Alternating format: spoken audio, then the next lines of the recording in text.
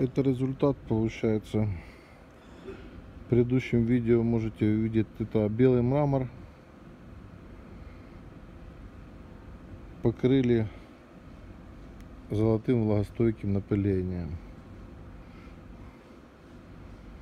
То есть мрамор тоже поддается покрытию. Получился такой благородный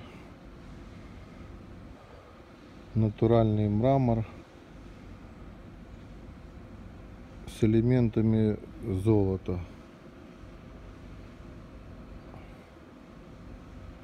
Выглядит очень красиво.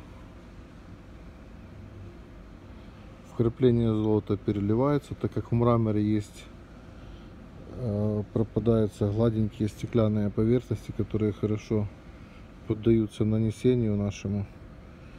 И получается как вид натурального камня, как будто природный натуральный мрамор, только не белого цвета, а в золоте. Вот он такого цвета был. Мы по шершавой стороне взяли его, прошлись золотым покрытием.